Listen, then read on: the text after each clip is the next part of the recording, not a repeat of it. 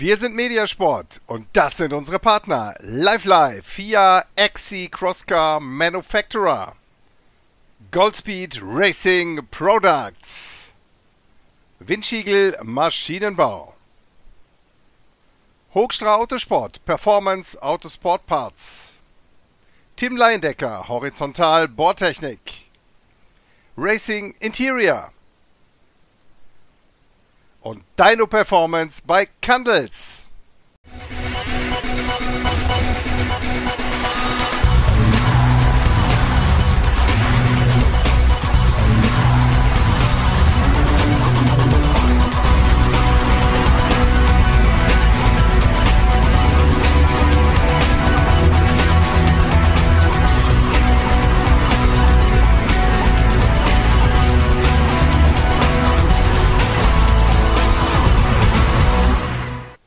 Tja, servus und herzlich willkommen, liebe Autocross-Freunde, hier auf dem YouTube-Channel von Mediasport. Wenn die Schwester von Eliška Pytlinova, übrigens ein gefeierter Popstar in Tschechien, ein Stell dich eingibt, dann weiß man, es ist ein ganz besonderes Wochenende in Humpolek zum Auftakt der tschechischen Meisterschaft äh, FIA CEZ ebenfalls mit dabei, die slowenische Meisterschaft und so weiter und so weiter. Volles Haus, volle Ränge und ein absolut super Rennen. Die Touring Cars gibt es ja in Tschechien noch. Es wird auch dort immer weniger. Aber ähm, gucken wir mal. Also es gibt keine Ambitionen dort, die Touring Cars zu verbannen. Das wäre auch sehr, sehr schade, denn da dürfen die Dinos dann wirklich noch um einen nationalen Meistertitel fahren und genau so auf dem Niveau, wie es auch mal in der Autocross-Europameisterschaft war. Aber das ist Schnee von gestern. Kümmern wir uns jetzt einfach um das aktuelle Geschehen auf der Strecke mit Marcel Dlesk, mit Lukas Musil, mit Jerzy Brett, Rostislav Hilse und so weiter. Dlesk gewinnt und sagt, es ist tolles Wetter, es sind tolle Rennen, ein, ein super äh, Track, also eine super Strecke, so viele Zuschauer. Mein Auto war perfekt, es gibt nichts, aber auch wirklich gar nichts, was ich auszusetzen habe. Das war ein toller Auftakt für mich. Das war ein toller Auftakt in Tschechien auch für den Autocross-Sport.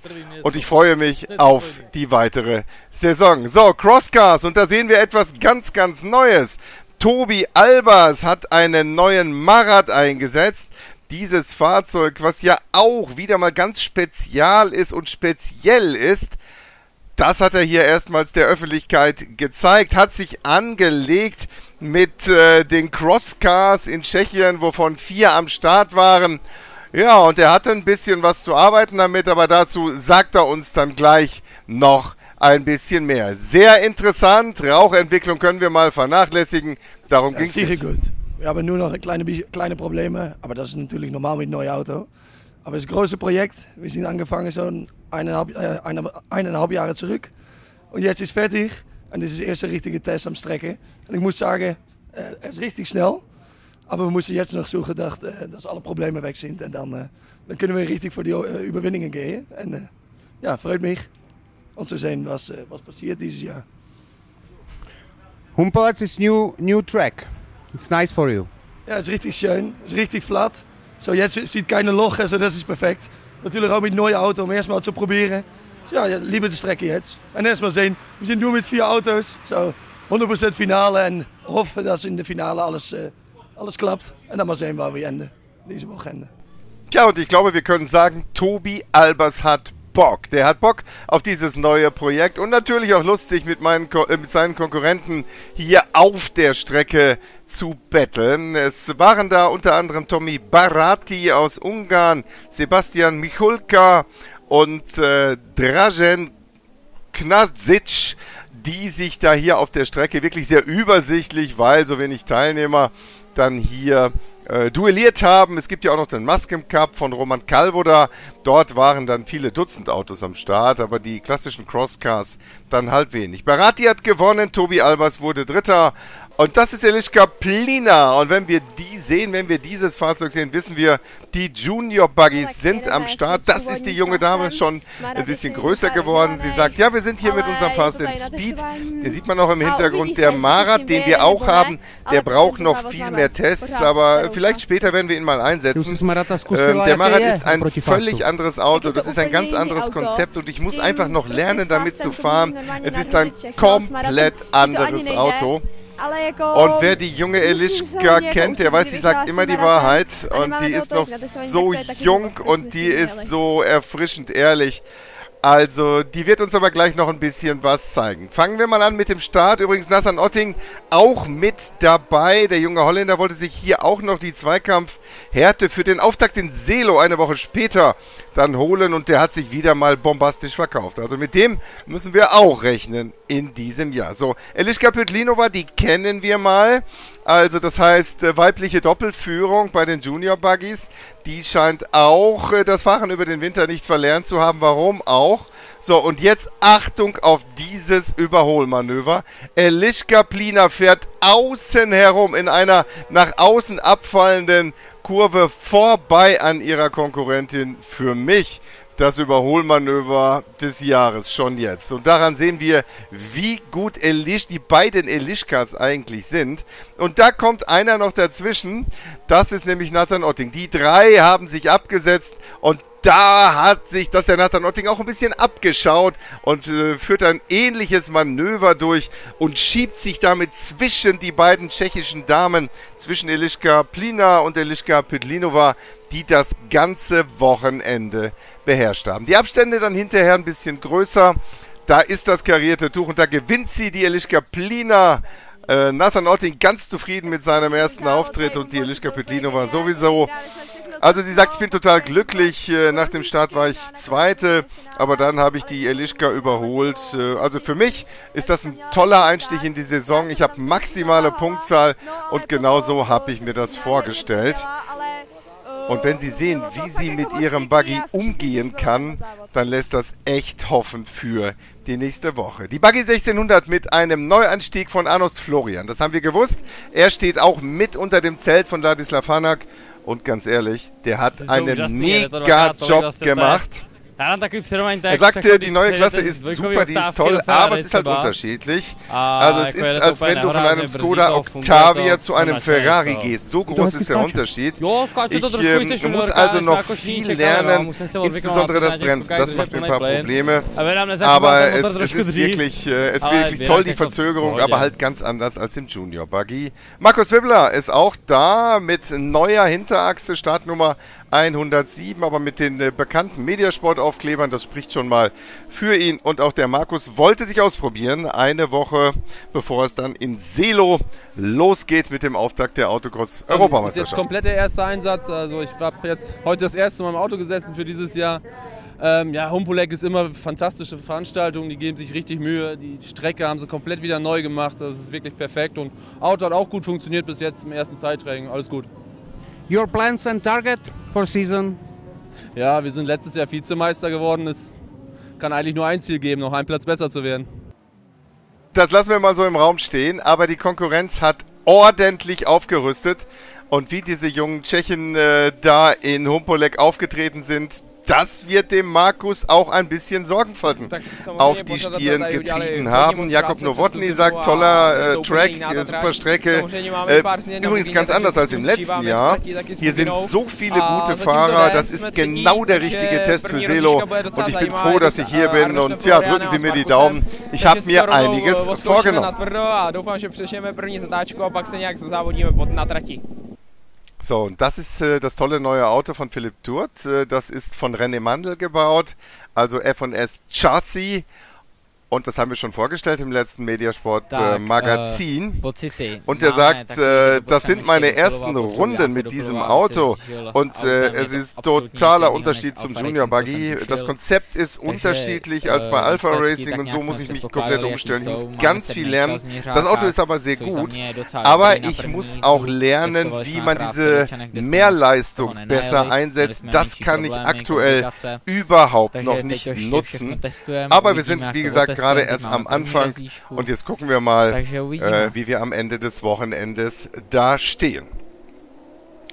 So, dann haben wir mal den Start und da ist äh, Václav Kindl mit der 121. Äh, während wir eine Beherrschung der Junior Buggies eben hatten, gab es das bei den Buggy 1600 auch. Denn Václav Kindl mit dem Panigale, mit dem Ducati Panigale Motor, der hat ich will nicht sagen Kreise um die anderen gefahren, so groß waren die Abstände nicht, aber der war immer vorne. Und hier auch, das sieht super aus, was der hier macht. Und der Panigale-Motor, der scheint über den Winter irgendwie ähm, ja nochmal potenter geworden zu sein. Aber das war schon eine echte Demonstration hier. Da war auch Markus Wibbler übrigens extrem beeindruckt, der hier auf Platz 4 fährt.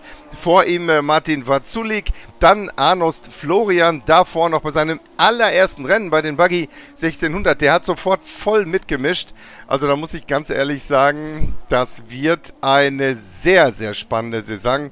Saison und das wird sogar ein super Auftakt in Selo werden, wenn die alle wieder aufeinandertreffen. Mit den Erfahrungen, die man hier gesammelt hat, werden die Autos ja innerhalb der Woche mit Sicherheit sogar noch mal ein bisschen schneller zumindest, aber verändert. Jakob äh, Nowotny, den wir eben gehört haben, den amtierenden Meister, der fährt auf Rang 5, damit einen Platz hinter Markus Webler. Und dahinter dann Philipp Hartmann, Adam Rauscher, ebenfalls ein neuer Mann mit der 177. So, und das ist der Sieger, ähm, der Václav Kindle. Sagt, ich bin total überrascht, dass ich das Rennen gewonnen habe, aber es war alles perfekt. Ich habe äh, einen guten Start gehabt und äh, danach habe ich ehrlich gesagt nur äh, die, die, Distanz gecheckt äh, zu Arnos Florian. Der Speed ist super. Am Start ähm, ja, war ich schließlich äh, vor den ähm, ersten beiden der Europameisterschaft 2023. Äh, äh, beide sind hinter mir geblieben und das nehme ich mal als Riesenerfolg. Das kannst du auch, äh, mein lieber Václav Kindl. Also ich glaube, die sind aussortiert. Der ist vorbereitet auf die Saison. So, jetzt zu den großen Jungs. Jetzt zu den Super Buggies mit äh, dem amtierenden Meister, mit äh, Peter Nikodem, der mir äh, oder der uns sagt, das Auto ist genau das gleiche wie im letzten Jahr. Da ist aber auch überhaupt nichts neu. In der Garage zu Hause haben wir allerdings einen neuen Rahmen, ein neues Chassis mit einigen Modifikationen. Und wir werden aber erst später damit starten. Das neue Auto wird unterschiedlich sein.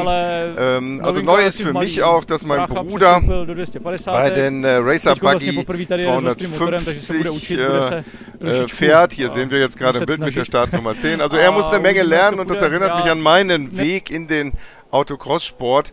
Und das war ebenfalls sehr, sehr schwierig. So, da haben wir. Selek Anthony, der ebenfalls sagt, alles ist gleich geblieben, ist klar, nur ein paar kleine Modifikationen. So, wir werden mal sehen, wie das hier läuft. Und dieses Lächeln äh, sagt, na, hat er uns wohl die Wahrheit gesagt, weil auch dieses Auto ging wie die Hölle, wenn ich das so platt sagen darf.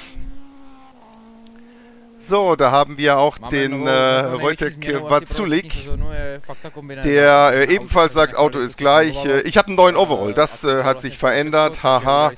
Ähm, aber äh, wir gucken jetzt einfach mal. Ähm, ähm, wir werden uns schöne Rennen aussuchen, wir werden keine komplette Meisterschaft fahren und deshalb äh, gehe ich das Ganze extrem entspannt an. Und was sagt der Jakob Kubicek? Natürlich ist nichts neu. Das Auto ist aber gut und wir werden in der tschechischen Meisterschaft starten. Äh, alles ist gleich, aber die Dämpfer sind anders. Naja, zumindest das gibt er schon mal äh, zu. Das ist ja dann auch schon mal was, aber schön, dass er wieder dabei ist. Das Auto, der Hoschek Buggy mit der Startnummer 3, ähm, wie immer komplett on fire. Und der hat eine ordentliche Show geboten, also anders kann der auch nicht. Ja, da sind auch, äh, da gibt es ja so einen kleinen Trend, also ähm, alte Crossbuggies zu zeigen, wie das alte Auto von ihm hier, vom Kollegen Hoschek. Und der sagt, ach, ich habe übrigens einen neuen Motor mir mal zugelegt mit Turbo. Ähm, das ist unterschiedlich, aber das ist ganz gut. Ich kenne das Spiel ja schon und wir werden sehen, ähm, was dann so passiert. Ein Deutscher war auch da und da freuen wir uns äh, natürlich. Bei, wie bei den äh, Sängern, die hören auf und kommen wieder. Ich habe gesagt, wir können kein 1600 fahren, weil dort bin ich zu alt und habe ich bekomme die Chance von Roman diese Boogie zu testen und es hat sehr gut funktioniert. Dann haben wir gesagt, machen wir Probe in tschechisch Championat und ich bin sehr zufrieden mit dem Auto. Das Auto ist perfekt. Das Auto ist ein Turbo. Es ist sehr gut zu fahren und auch hier in Humboldt, die Strecke ist super, ist wie eine Autobahn. Ich bin happy. Ich bin super happy. Your target, you go complete Europe, uh, Czech Championship, you go complete or no? Nein, wir werden in der tschechischen äh, Meisterschaft äh, sporadisch fahren, aber ich denke, dass wir vier Rennen hier fahren in Tschechien. Ja. Tja, mein lieber Olaf Zingel, schön, dass du dich das traust, das muss man ja sagen. Und das Auto von Roman Pollack ist wirklich toll. Ähm, Willi Albers äh, ebenfalls Ja, ich da. bin zufrieden. Äh, habe viel Arbeit dran gehabt. Diese Woche noch äh, viele Stunden gemacht, bis abends spät. Gestern war ich was um äh, 3 Uhr hier in der Nacht und um 4 im Bett, ja, 6 wieder raus. Dus ja, wenig geschlafen. Aber ich bin äh, richtig zufrieden mit dem Auto. Auto ist, äh, ist nicht nervös an der Strecke hier. Und das ist nicht meine. Eigenlijk ja, ist meine Favoritenstrecke. aber sie- Niemals bin ich hier an, äh, war ich, komme ich hier äh, am, am, am Finish. Dus ich hoffe, dass diese Wochenende wel. Where is new car better in old car? Ehm, ja, de kar is, compleet anders als de, als de old car. Eh, we, make we, hebben, we, hebben hem lange, we hebben hem langer gemacht. Eh, de wielbasis is richtig lange, is 20 centimeter langer dan de old car. Eh, de motor is eh, 35 centimeter mitgetrieben nach vorne. We hebben richtig meer druk aan de, de voorrijder. En ja, ik ben richtig zufrieden damit. You like Humpolets, I know, but Humpolets is new. New track for you. It's good? Ja, is, is super. Ik vind, eh, eh, on, op deze moment is de strecke is, eh, is perfect. Your plans this year? Compleet, compleet seizoen eh, Europa meesterschap. En ja, moest, moest denken, normaal gesprochen heb ik geen tijd om nog extra rennen te maken. Am Ende van het jaar kom ik immer hier voor de laatste rennen in Humpolet. En dan hebben we een schöne Party am Abend en dan ja, das, das lieben wir. Das wissen wir, Willi. Und bitte lass nicht nach und mach genau so weiter. Denn äh, so ist das. Ja, der äh, neue Marat sieht komplett anders aus an der Hinterachse. Äh, wie gesagt, ganz anders, ganz neu. Da fehlt es auch noch ein bisschen an Verkleidung und so weiter. Aber warten wir mal ab. Ich denke mal, äh, das wird sich auch optisch noch ein bisschen verändern. Wichtig ist erstmal, dass der Speed da ist. So, dann haben wir mal äh, Halbfinale. Dann haben wir den ersten Start und Peter Nikodem äh, setzt sich mal nach vorne. Cedric Anthony dabei, David Horak, Libor Paul und Willi Albers auch vorne mit dabei. Da ist auch Holger Goch dabei mit einem ja, fuschneuen äh, Hojek Buggy und Olaf Zingel auch im Halbfinale. So, zweites Halbfinale dann mit Jakob äh, Kubicek, Start Nummer 3. Das Design kennen wir hier ein bisschen anders, da ein bisschen anders, aber im Großen und Ganzen äh, gleich. Sabols Klenans ebenfalls mit dabei, der Ungar. Und da ist auch Ottavi Borni dabei, aber vorne Kubicek, vor Radek Jordak und Vazulik. Und so schießen sie dann mal äh, vom Start weg. Kubicek lässt nichts anbrennen und fährt hier mal vorne vorweg und qualifiziert sich damit fürs Finale. So, das Finale startet jetzt. Und jetzt waren natürlich alle gespannt, was passiert. Peter Nikodem übernimmt mal die Führung. Aber Achtung, Sedek Anthony ist gleich auf. Und der hat sich was vorgenommen. David Horak auf 3, Jordak 4, Vazulik 5 und dann der Ungar Sabols Klenans.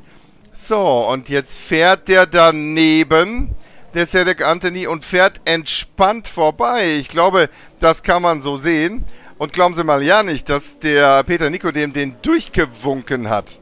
Also ganz sicher nicht. Vit Nosalek ebenfalls äh, dabei mit der Startnummer 12 im weißen Alpha äh, Racing Buggy. Dieses Auto hat er ja übernommen im letzten Jahr und vorne an der Spitze verkehrte Welt. Und Peter Nikodem hat Probleme, diesem enormen Tempo von Cedric Anthony zu folgen.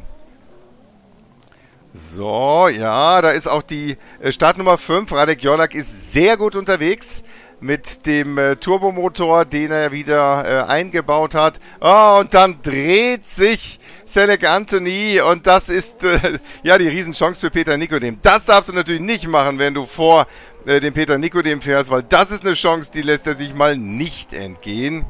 Hier sehen wir gerade Otter wie Borny äh, noch durchs Bild huschen. Ja, und Peter Nikodem fährt dann auch nach Hause. Da konnte ihm der Radek Jordak nicht mehr auf die Pelle rücken. Der war viel zu weit weg. Und auf Platz 3 fährt im Fast and Speed Savolz Klenanc, der Ungar. Das ist für ihn ein toller Erfolg, auch mit Turbomotor. Horak äh, auf 4, Watzulik auf Platz 5. So, und dann geht es mit vollem Speed äh, durchs Ziel. Ja, und dann sagt er uns, also heute bin ich echt glücklich, weil äh, Selek Anthony war schneller, aber nach seinem Problem war es dann wirklich einfach. Wir haben jetzt äh, volle Punkte aus diesem Rennen, so alles ist perfekt. Also das war ein toller Tag, ein tolles Wochenende und ein super Test für Selo. Ich bin gespannt, was das Jahr so bringt. Máme vlastně všechno vyhraný, máme prvních 35 letošní sezóny a my se můžeme jít připravovat. Cítil jsem teď, že máme ještě i proti Turbu, kde výkonnostně trošku doháně do kopce. Takže pro nás je to byl krásný teď souhrn před Německem a So, Radek Jodak, der Zweite. Äh, nach dem Start war ich nur Vierter. Ähm, das war eine sehr, sehr harte äh, erste Ecke. Da waren viele zusammen. Aber danach habe ich David Horak äh, passiert. Und ja, Anthony hat sich gedreht. Und danach war ich Zweiter. Also, Samuel Klenert sagt, das ist unglaublich für mich. der Start zum, zum Semifinale, da war ich Dritter. Aber ähm, er ist ein, ein bisschen zu, zu langsam gestartet. Das hat er im äh, Finale allerdings geändert. So, liebe Zuschauer, das war der erste Lauf zur tschechischen Meisterschaft. Ich hoffe, es hat Ihnen gefallen. Ich sage Tschüss, ciao, bye bye.